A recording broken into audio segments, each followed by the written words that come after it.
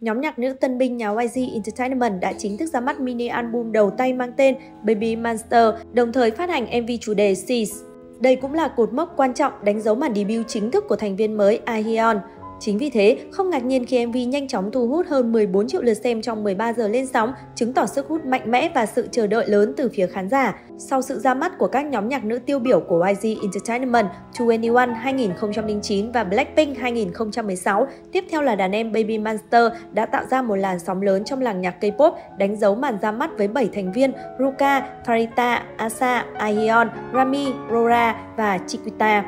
Với album đầu tay gồm 7 tracks, mở đường bằng hai single là Butter Up và phiên bản 7 thành viên của Start in the Middle. Ngoài ra, họ cũng giới thiệu ca khúc Like That được sản xuất bởi Charlie Puth, một tặng phẩm ý nghĩa dành riêng cho các cô gái trong nhóm. Tuy nhiên, một số người hâm mộ đã bày tỏ lo ngại về sự tương đồng của họ với nhóm nhạc nữ quốc dân Blackpink. Điều này không phải là một vấn đề mới trong ngành công nghiệp giải trí Hàn Quốc khi nhiều nhóm nhạc mới thường phải đối mặt với sự so sánh và áp lực từ các nhóm đã thành công trước đó. Bài hát Seas của Baby Monster gây ra nhiều tranh cãi và so sánh giống với How You Like That của Blackpink không chỉ về âm nhạc mà còn về cả hình ảnh và phong cách biểu diễn. Cả hai bài hát đều có một phần cảm xúc với âm nhạc điện tử mạnh mẽ, hòa âm bắt tay. Tuy nhiên, mặc dù có sự tương đồng về giai điệu, về Seas lặp lại mục đích của phần hook có thể khiến khán giả dễ nhớ nhưng đồng thời cũng có thể gây phản tác dụng. Đã có những ý kiến chỉ trích từ dân tình về phần hook này, cho rằng nó không những không nịnh tai mà còn thiếu sự ấn tượng. Việc lặp lại chorus hai lần trong bài hát và sự quay xe 180 độ ở phần outro với một luồng melody hoàn toàn khác biệt cũng gây ra một cảm giác khá lạ lẫm cho người nghe. Tuy nhiên, những phần rap sôi động và hòa âm đặc trưng của nhóm vẫn là điểm nhấn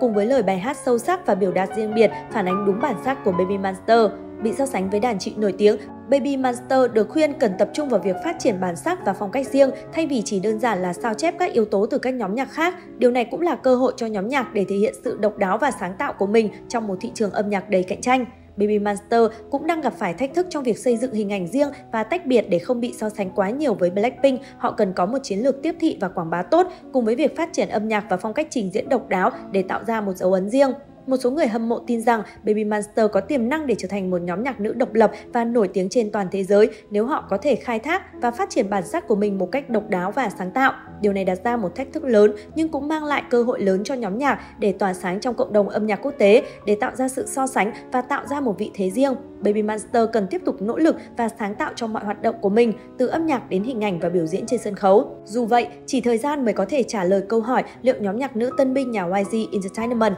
có thể tự tạo tạo dấu ấn riêng cho Baby Monster. Việc tạo ra một danh tiếng độc đáo và nổi bật sẽ đòi hỏi sự sáng tạo, nỗ lực và liệu họ có thể vượt qua cái bóng lớn của đàn chị Blackpink hay không.